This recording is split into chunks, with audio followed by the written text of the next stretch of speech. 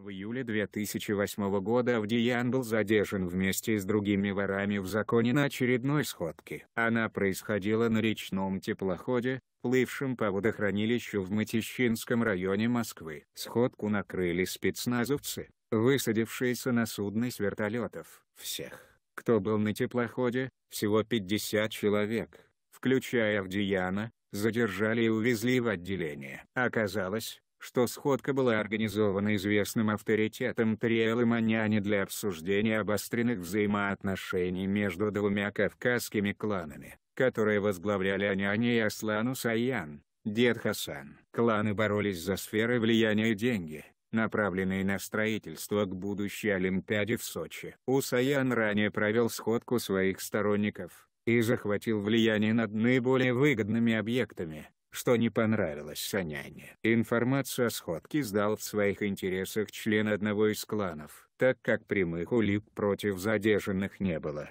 многих из них вскоре пришлось отпустить.